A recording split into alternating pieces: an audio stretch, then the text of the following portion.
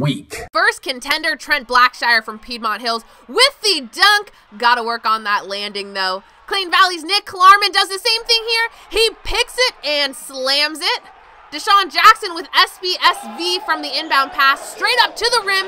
Impressive dunk there. Cue the soccer plays. Peyton Ron from Foothill from way far out places it perfectly in the corner. Check out this save from Richmond's Alejandro Rodriguez like a cat.